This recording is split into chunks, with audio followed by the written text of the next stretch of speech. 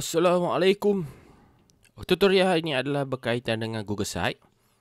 Kita akan tunjukkan cara untuk mengedit homepage, tambah page, add Google Form dan spreadsheet. Kemudian kita akan tukar logo dan favicon untuk interface uh, kita punya Google Site lah supaya kelihatan lebih profesional. Okey, pertama sekali kita pergi kepada Google Search dan kemudian kita search Google Site. Sebelum itu kita perlu sign in lah kita punya Gmail lah sebab uh, Google Site ini menggunakan Google Environment. Kemudian kita pilih template yang ada. Okey, inilah template yang telah kita pilih lah untuk dijadikan bahan tutorial pada hari ini. Apa yang kita boleh buat? Kita tukar tajuknya. Uh, tukar tajuk hari ini. Dan phone. Kita boleh align. Kita boleh add link. Kemudian kita tukar image. Eh. Image ni boleh boleh juga kita ambil daripada Google Drive. Ataupun Google Search. Ataupun image tu kita dah siap-siap download. Dah berada dalam kita punya desktop ataupun laptop lah. Kemudian kita upload eh, kemudian kita upload dan kita tengok template ni ada yang sesuai ada yang tak sesuai kita akan delete lah sekiranya tidak sesuai kita boleh juga kan ready content block uh, macam dalam tutorial ni kita gunakan ready content block uh, kemudian dekat image tu kita upload uh, video eh, daripada YouTube sekiranya video tu berkaitan lah mengikut kesesuaian masing-masing dan juga dalam content block ni kita boleh tambah description lah uh, yang mana bersesuaian lah Okay, seterusnya kita akan edit uh, template yang kita gunakan ni. Uh, sekiranya perlu, add, guna. Sekiranya tidak perlu, kita delete. Okay, seterusnya saya akan gunakan content block yang mana mempunyai gambar. Uh, gambar dan juga nama lah. Uh, dalam konteks, uh, dalam tutorial ni, uh, sekolah.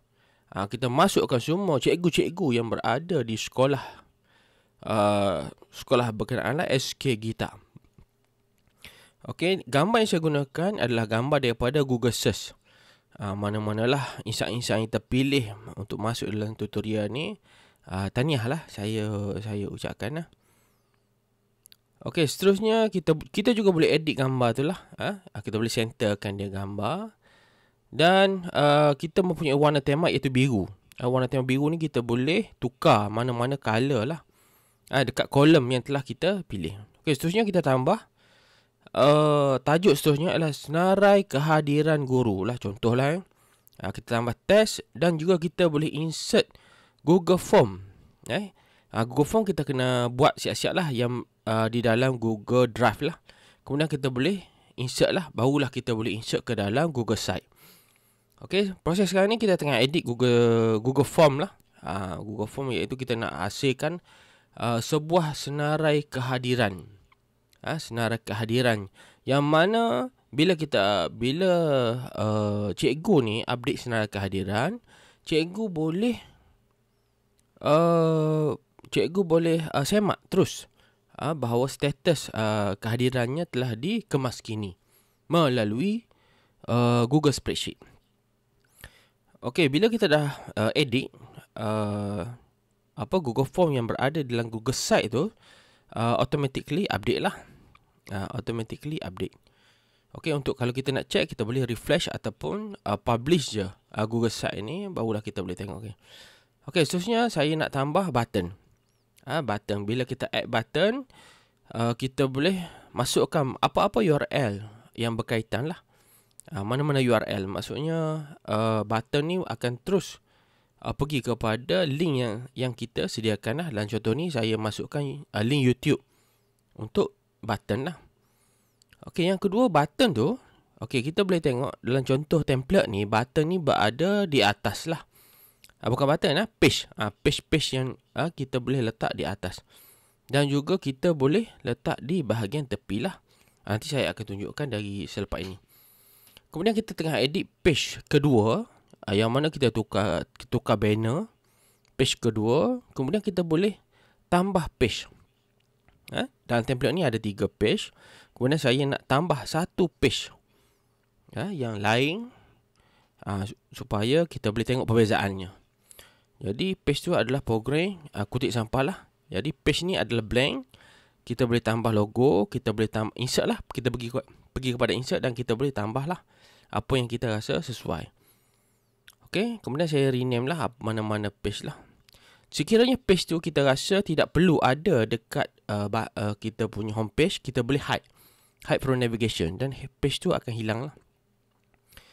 Okey, seterusnya kita boleh juga tukar main color. Main color, kalau kita tukar main color purple, semua font ataupun template akan berubah menjadi purple lah.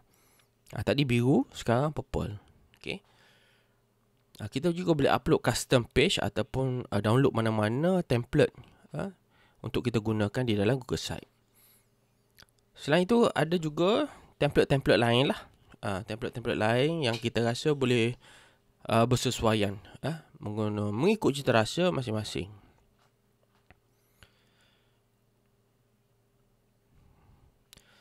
Okay, inilah hasil uh, interface lah untuk untuk user lah. Untuk interface untuk user. Uh, ni kita belum publish lagi Google Site ni. Interface untuk Google macam mana kita nak tengok lah. Okay, sekarang ni saya duplicate. Eh. Setiap kolom tu kita boleh duplicate. Ada button duplicate. Dan kita boleh arrange. Uh, rearrange. Uh, content block yang telah kita pilih tadi. Okay. Uh, kita nak resize. Uh, rearrange. Uh, boleh uh, memang uh, flexibility Google Site ni sangat tinggi lah. Memang sesuai. Okay, sekarang ni kita nak publish uh, kita punya Google Site dan kita, kita masukkan nama lah kepada Google Site kita. Kemudian kita pergi ke, kita generate link dan kita test. Uh, open new browser, test. Okay, sekarang ni inilah hasil daripada tutorial lah. Yang ringkas ini. Okay, inilah hasil. Kita boleh tengok ada nama. Ada beberapa mistake lagi sebenarnya lah. Kita mesti melalui try and error lah. Okey ini uh, page-page yang yang telah kita wujudkan lah sekolah saya dan program itu sampah yang ada pada bahagian atas. Okey sebenarnya kita akan tukarlah uh, daripada bahagian atas kepada bahagian tepi lah. Kalau kita tengok di sini link YouTube kita berhasil. Manakala gambar yang telah kita susun rearrange tu okey uh, mengikut uh, susunan yang telah kita buat tadi. Manakala Google Form yang telah kita buat tadi pun berhasil uh, Google Form uh, yang kita tambah tadi boleh boleh digunakan terus lah uh, boleh digunakan terus ataupun kita boleh gantikan uh, Google Form tu dengan link uh, dengan add button add button sebagaimana bahan-bahan saya gunakan pada bahan-bahan digital pun boleh Okey. Okay, kita tengok link bahan digital terus kepada YouTube lah. Okay, YouTube.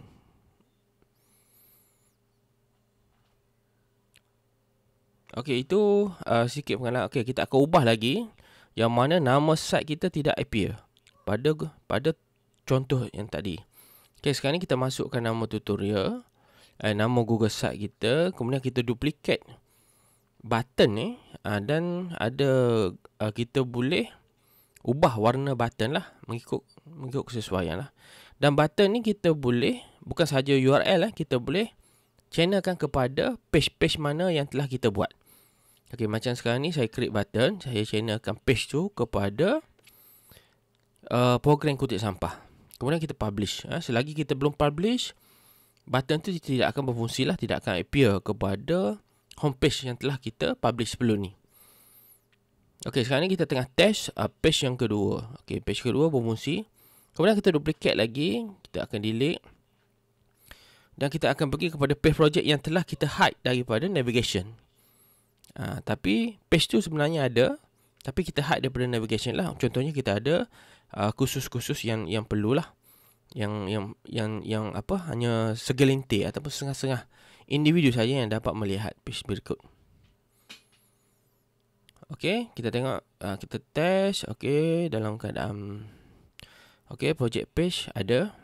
Uh, terus walaupun dekat top navigation tu tidak ada tapi button tu berfungsi dan page tu wujud lah. Okay, seterusnya kita nak edit ya, kita punya logo dan juga navigation kita. Navigation tu sekarang ni pada bahagian top. Sekarang kita, kita nak gunakan di bahagian side, di sebelah kiri lah. Okay. Kita boleh juga ubah color lah. Transparent, white dan juga black. Dan kita publish untuk kita lihat hasilnya. Setiap kali perubahan yang telah kita buat, untuk tengok kita perlu publish. Okey, seterusnya kita nak tambah spreadsheet kepada Google Site kita. Daripada responden Google uh, Google Form tadi, kita generate spreadsheet. Okay, ha, kita juga dapat lihat data lah daripada daripada Google Form tapi spreadsheet ni dia lebih detail lah dan kita boleh share spreadsheet ni. Okay, sebelum kita upload ke Google Site, kita perlu uh, share lah. Uh, I just share anyone with the link as a viewer. Eh, as viewer untuk uh, semak lah ataupun kita nak ubah sebagai editor pun boleh. Jadi mana-mana individu yang buka spreadsheet ni maksudnya dia boleh edit lah uh, boleh edit spreadsheet yang telah kita sediakan dalam Google Site. Tapi pada tutorial ni saya nak sebagai viewer. Viewer maksudnya dia user hanya boleh tengok dan tidak boleh edit lah. Okey, kita pergi kepada insert. Kemudian kita cek pergi kepada sheet. Kemudian insert spreadsheet tadi. Sebelum tu kita perlu klik kolom mana lah. Uh, maksudnya kolom di sebelah atas tu kita klik dulu. Barulah uh, spreadsheet itu akan muncul di bawah lah. Uh, tapi sebenarnya kita boleh masih boleh rearrange lah kedudukan uh, spreadsheet ataupun Google Form lah mana-mana ikut kesesuaian yang, yang kita rasa perlu lah. Okay, sebab itu kita akan publish dan kita akan tengok lah bagaimana hasilnya. Okay, untuk publish kita, kita perlu okay, copy link. Okay, copy link pergi kepada another brochure. Uh, browser, browser kemudian kita akan uh, pastekan link dan kita akan tengoklah uh, hasilnya. Kalau tak okey. Kalau kita menggunakan Google browser selain daripada Chrome, dia agak lambat lah. Kita perlu refresh beberapa kali lah. Macam saya tutorial ni, saya gunakan uh, Firefox. Untuk Firefox, ah, dia tidak ada favicon. Eh. Uh, favicon Firefox tidak tidak muncul lah. Tapi logo ada. Okay, uh, kalau kita gunakan browser Chrome, paling bagus lah. Uh, browser Chrome sebab dia di dalam Google environment lah. Ha, maksudnya kita ada kita dah guna Google Site, Google Form, ha, kita kena gunakan Google Chrome lah. Ha, dia punya ha, environment lah sama. Okay, navigation dekat site. Kemudian kita nak tukar uh, brand image, ha, logo, kita upload logo. Logo pun sama juga, sama dengan kita upload image. Logo ni boleh berada dekat Google Drive, dekat desktop ataupun dekat Google Search. Okey, bila kita upload logo, uh, Google Site ni akan uh, meshkan uh, main color dekat logo tu dengan kita punya uh, Google Site eh. Uh, Google Site. Jadi kita boleh uh, selaraskan ataupun samakan warna logo tu dengan uh, warna main color dekat kita punya Google Site lah. Okey, sekarang ni kita tengok logo dah ada pada kita punya Google Site lah. Ha, sebenarnya di bahagian atas tu adalah favicon. Favicon iaitu logo lah kalau kita buka mana-mana brochure lah. Ha, mana-mana brochure contohnya berita harian. Dia akan ada logo berita harian lah pada di sebelah atas. Sama juga dengan kita punya uh, bila kita tambah favicon ni. Okay, bila kita tambah favicon, uh, saya gunakan logo parti tu. Uh, logo kuih apalah.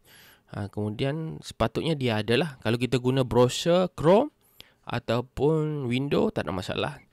Jadi itu sahaja tutorial pada hari ini. Semoga membantu, memanfaat.